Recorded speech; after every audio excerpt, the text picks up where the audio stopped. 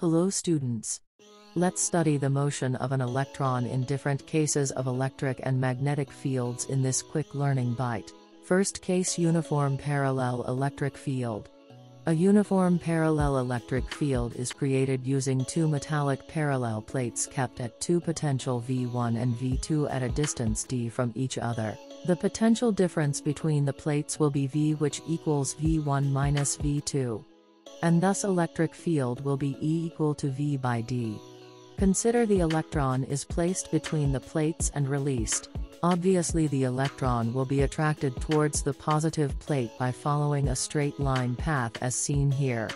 Any charge particle places like this will move towards the oppositely charged plate in straight line path.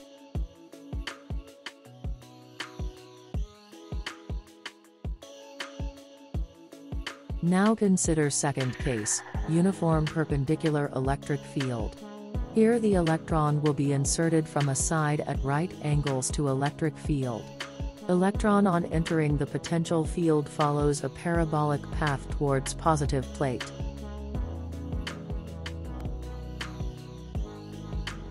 The third case will be uniform electric field at an angle theta. This theta is different than 0, 90, 180, 270 or 360. In this case electron is thrown towards negativity charged plate to see the path. It will follow a projectile or parabolic path. Now let's move towards uniform parallel magnetic field. In this case as by the formula of force exerted on a charged particle by magnetic field. FL equal to QVB sine theta.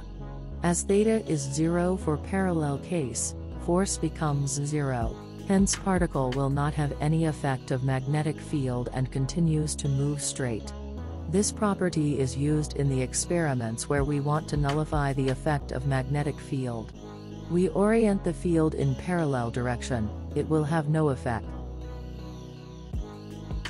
Next case is perpendicular magnetic field.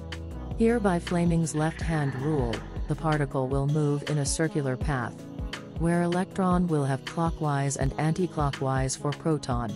Complete explanation on Fleming's rule will be separately put. Consider now magnetic field at an angle theta, again this theta is other than 0, 90, 180, 270 or 360. Here the magnetic force acting on the particle is resolved in two components, parallel and perpendicular.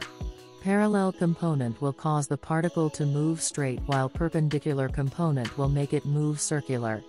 These two motions together creates a spiral motion hence an electron will move in spiral or helical path in magnetic field at theta. Students, we have discussed six cases of electric and magnetic fields. In the next learning bite we will study the case of crossed field configuration electric and magnetic field together at 90 degree to each other and to electron. Velocity selector.